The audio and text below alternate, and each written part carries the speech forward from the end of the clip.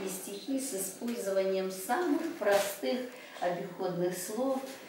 И дети с удовольствием их учат и рассказывают, и что-то знают.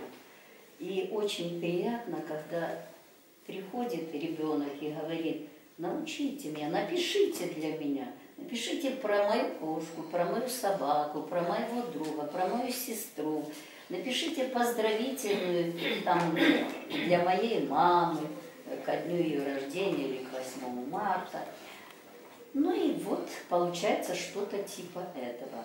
Бармашахнан бір köpek evçini tutayıq. Марне хардашымнан бек олары саба екмекнен аш өглерне қояйық. Қаралтыда көрсек таш авлаға айтайық. Бұнда олар durmasın, баллар тапып урмасын. бұзмарненен верді кат, мұшыға принцесса, көпегеде акробат яти стюардесса, сычыраса баштандати, стемесі сорадати. Олары севейді бек, чағырдық делилер бір мұшықнан бір көпек бізі севіндірейлер.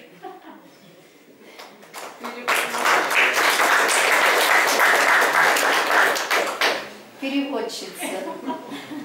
Давайте я.